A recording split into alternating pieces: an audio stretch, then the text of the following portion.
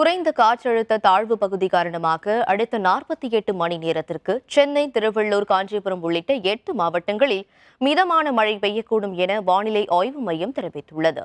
இது தொடர்பாக சென்னை வானிலை ஆய்வு மையம் வெளியிட்டுள்ள அறிக்கையில் ஒடிசா மற்றும் மேற்கு வங்க கடலோர பகுதிகளில் நிலவும் குறைந்த காற்றழுத்த தாழ்வு பகுதி காரணமாக சென்னை திருவள்ளூர் காஞ்சிபுரம் உள்ளிட்ட எட்டு மாவட்டங்களில் லேசானது முதல் மிதமான மழை பெய்யக்கூடும் என தெரிவிக்கப்பட்டுள்ளது.